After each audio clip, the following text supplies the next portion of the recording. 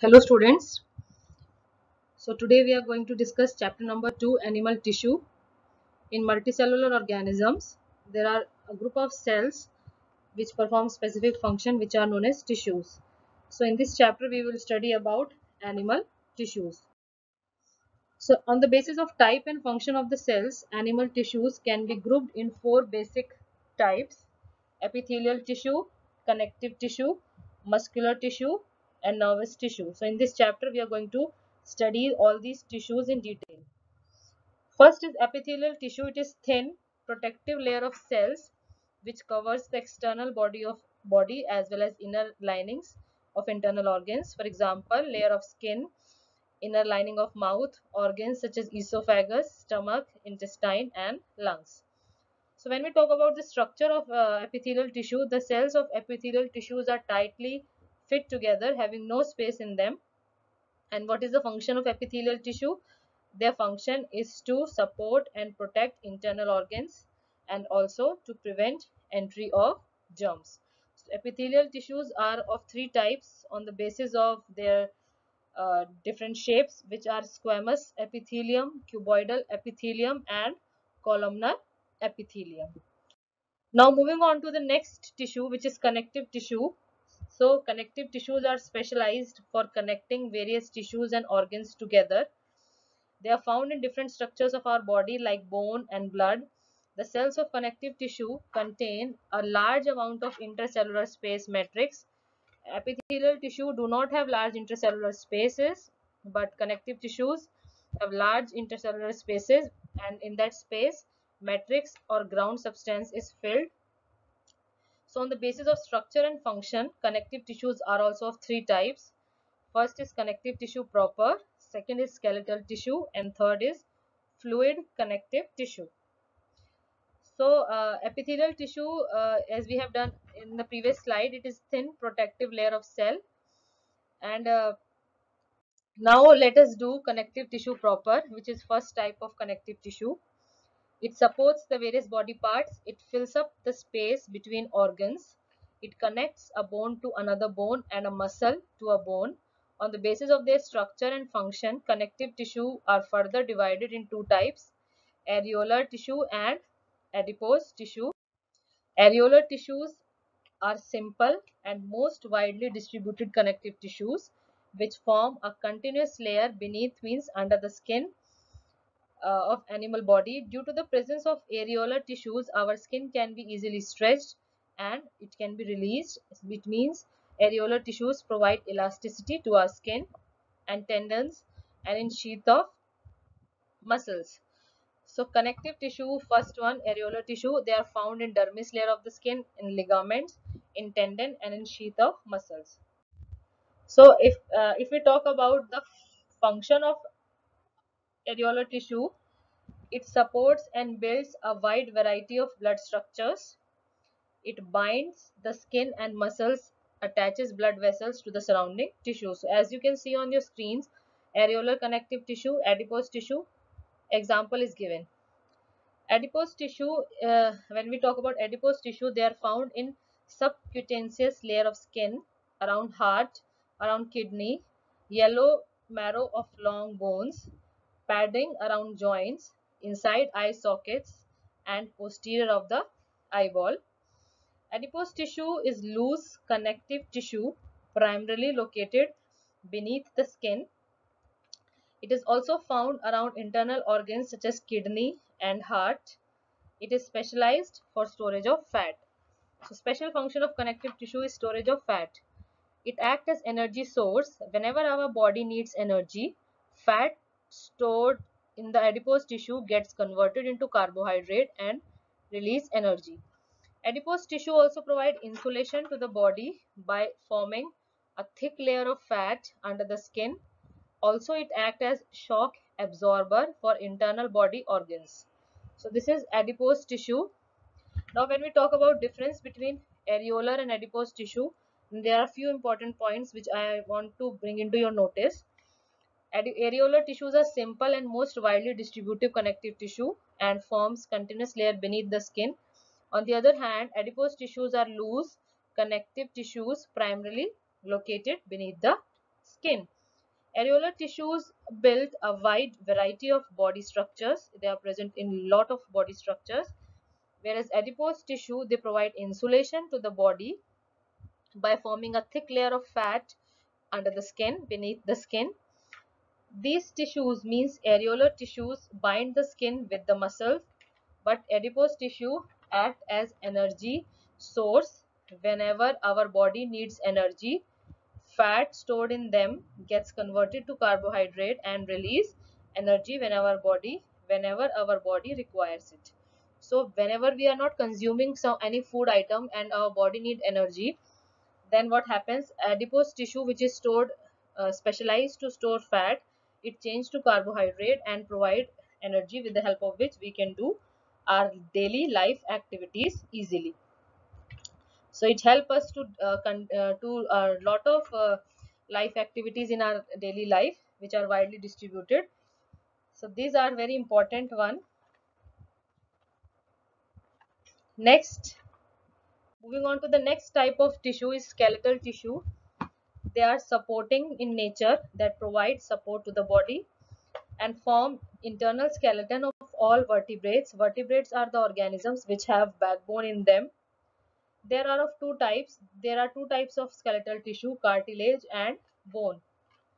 So before uh, i just want to share with you some facts that before an animal is born most of the skeletal is made up of cartilage and which changes into bone soon after the birth. So before uh, an uh, animal is born the most of the skeletal is made up of cartilage which changes into bone soon after the birth the skeletal of some bony fish like shark and ray fish are made up of cartilage. They are not made up of bones.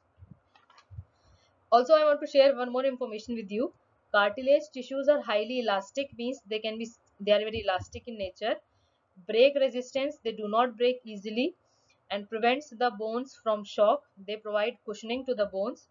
As cartilage tissues are found at the tip of bones, they help in reducing friction between them so you, you can say in a way that cartilages they help or they support bones to a greater extent so now let us see we have we have uh, listened a lot about cartilage now let us see what is cartilage so as you are able to see a nose here and the tip of the nose is made up of cartilage so where is cartilage present see cartilage is a type of skeletal tissue it is present at the tip of nose external projection of ears, rings of trachea, bronchial tubes between the vertebrates and at the end of long bones. We can twist our nose and external ear because they are made up of cartilage. Cartilage are elastic in nature. That's why we can easily twist our nose and we can easily twist our ear because both of them are made up of cartilage.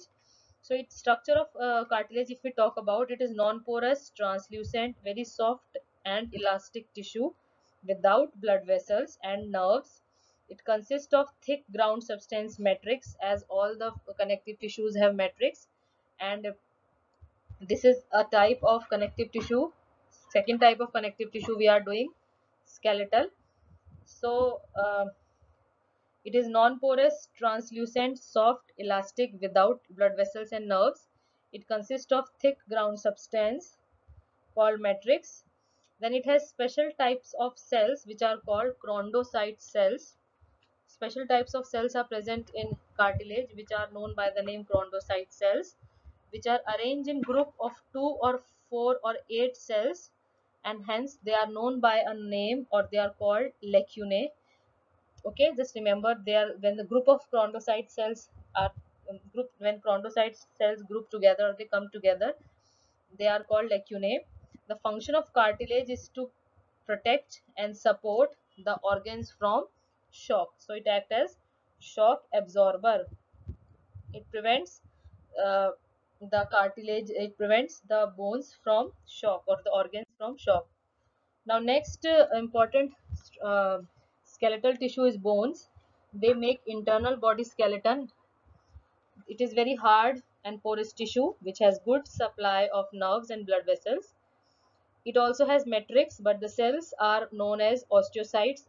The, the cells in the cartilage were known as chondrocytes, but the cells of bones are known as osteocytes. And they have lot of calcium and magnesium in them. Calcium and magnesium provides strength or you can say hardness to bone. They makes the bone hard. In bone tissue the matrix is arranged not in a scattered manner but matrix is present in concentric circle around central canal which is known as which is known as Haversian canal. The osteocytes which are the names of bones cells are present between fluid filled spaces. Again lacunae is present in bones also all the lacunae of bones communicate with each other by a network of fine canals called caniculi. So all this is just, a little similarity between cartilage and bones. Function of bone is first of all they form the framework of the body. And the second function they protect some vital organs such as heart brain and spinal cord. So if we see the uh, difference between uh, bone and cartilage so we will see that bone is hard and porous as whereas cartilage is soft and non-porous. Bone is non-flexible in nature cartilage is flexible in nature. Blood vessels are present in bones but they are not present or they are absent in cartilage. Cells of bones are osteocytes whereas cells of cartilage are chondrocytes and bone forms the framework of the body whereas cartilage provides support and flexibility to the body so this is skeletal tissue bone and cartilage. Now moving on to the next part of the section tendon and ligaments. When a muscle contract to move a joint it is tendon which pulls the bone. So tendon helps in movement of bones. And ligament strengthens the joint and permit normal movement but it prevent overextension or sprain which is caused by excessive pulling of ligament. So basically ligament are cord like strong inelastic structures that connect muscle to bone. These tissues have great strength but limited flexibility. It is made up of white fibers. On the other hand, ligaments are elastic structures that connect bones to bones. These tissues have great strength but contains very little matrix and it is made up of white as well as yellow fibers. So when uh, if you talk about musculo musculoskeletal system of the body, musculoskeletal system of the body, it is a system which is made up of skeleton, muscles, cartilage, tendons, ligaments, joints and connective tissues. So musculoskeleton, if, if we talk about musculoskeleton of the system, then it is that system which is made up of skeletal muscles, cartilage, tendons, ligaments, joints, and connective tissues that supports and bind other tissues and organs together. So all these together forms musculoskeletal system of the body. The important or the prime functions of this system include supporting the body, allowing movement and protecting the vital means important organs such as heart and brain. So musculoskeletal system is you can consider it as a system which which is uh, connected in all the parts like muscle which is a part of again skeletal system muscle cartilage tendons ligaments joints and connective tissues now um, if we talk about next segment which is fluid connective tissue it consists of two types of uh, uh, you can say tissues blood and lymph. So when we talk about blood, blood is composed of both liquid as well as cellular part. The liquid part of the blood uh, consists of plasma or is known as plasma and the cellular part of the blood is known as red blood cells, RBC, white blood cells, WBC and platelets. Blood is also red in color because blood is red in color because of presence of protein which is known as hemoglobin. Red blood cells are disc shaped cells and abundantly means throughout the blood they are present. They do not have a nucleus. They carry oxygen and carbon dioxide to and from from different parts of the body and collect carbon dioxide from different parts of the body and send it to lungs and they are also produced in the uh, red, red blood cells are produced in bone marrow white blood cells are colorless and irregular shaped cells they have one or more than one nucleus. They protect the body against infection. So they are fighters. They are soldiers of the body which prevents the body from infection. It, if, if you have good immunity then you have good white blood cells. Platelets are very minute blood cells which cannot be seen under compound microscope. They helps in blood clotting means whenever you have a cut in your hand then the blood stops flowing after some time because it gets clot and the clotting is because of platelets.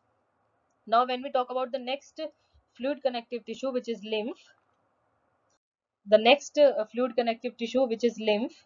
So lymph is clear, straw colored watery fluid that surrounds the body cells it picks up fats, bacteria and other unwanted material from the body, filtering out these substances and defends the body against various diseases. So it's, it prevents the body against various diseases. Now if we talk about function of blood, so the main function of blood is to transport the digested food material and oxygen to various parts of the body and to collect waste and carbon dioxide from different body parts. So this is the function of blood to transport food and material oxygen to parts of the body and to collect carbon dioxide from them. So uh, with this we cover our main uh, tissues which is epithelial tissue. We have covered connective tissue in this segment. And we have connected uh, we have covered connective tissue of again of three types. Connective tissue proper skeletal tissue and fluid connective tissue. So next muscular tissue will be coming up in the next video. So i hope everybody sees the video and also read the book side by side and try to solve question answers which are given in the back. So with this i am ending thank you so much. Please do watch the video all of you